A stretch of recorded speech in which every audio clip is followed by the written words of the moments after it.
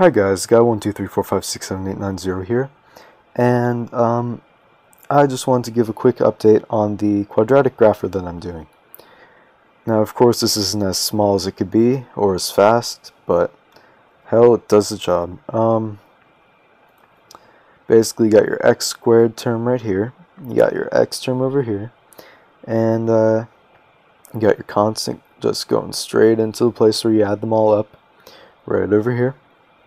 Um, these will do both addition and subtraction eventually. Uh, just my inverters kind of didn't really work in uh, this version of Minecraft because uh, of the bud glitch, which kind of caused some of the pistons I was using to invert to stay on when they should be off. Um, but other than that, uh, yeah, it's fully functional as it is, except for the graphing function, which the only reason I'm not doing that at the moment is because doing a decoder for that, that right there, is a huge pain in the ass, and I don't feel like doing that right now. Anyway, so it will do fractions, or at least decimals, kind of. It will do 1 16th, 1 8th, 1 fourth, and 1 half. And then it'll start doing whole numbers.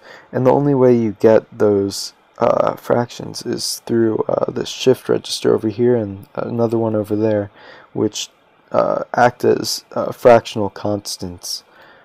Um, basically, um, and to divide a binary number by 2, I'm not doing any other dividing basically because dividing by anything other than 2, 4, 8, or any 2 to the n uh, sort of number would require an actual divider, and those are rather large and uh, difficult.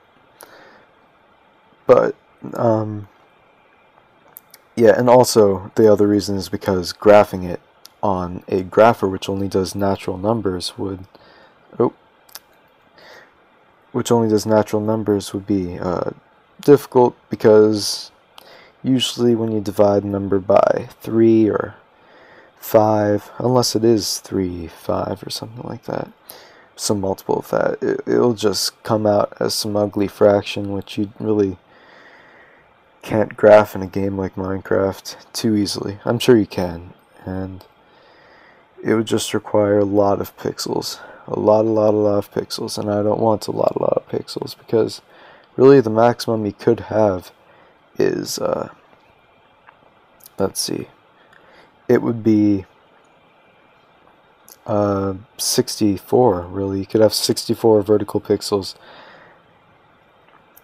And given that the range of this is enormous and already and making it it have fractions or just besides those but those aren't going to be graphed anyway. Those are just basically kind of pointless. But having those when your outputs can go up to this number plus a bunch of those I'm not really sure what the maximum output of this is but um, having that would just be enormous, and the decoder would also be enormous. Basically, doing anything other than this would get very, very large. Although, um, there are dividers which you can do, or multipliers which you can do, which, uh, which um, basically do exactly what this does, only it uses shift register to shift it over instead of what I'm using where I have a system of AND gates which uh, cancel uh, the terms I'm inputting, which each time you can kind of see uh, this is the uh, term I'm inputting. It's shifting over one full letter every time. You can kind of see. So it basically does it with a shift register instead of physically moving it. Um, but that requires a bit of Actually, it, it takes a lot of thinking, and I'm not willing to do that. Um, yeah. Okay, what else? that's about it. Anyway, um, I should be done fairly soon. Uh, well, that depends how lazy I get with the decoding function. Um, oh, and the display, right. The display is basically an AND gate hooked up to a RS NOR right here, uh, which is hooked up to a reset line hooked up to a pixel. I'm not sure if the pixels will be pistons or not. We will see. Anyway, it's pretty small, but they're going to have to be grouped this far apart because to have the vertical columns not be inverted every other time, you have to have them an odd number apart. So it'd be one, two, three. Yeah. You have to have an odd number apart. So yeah. Uh, any questions, just comment. Love to answer them. Um, and yeah.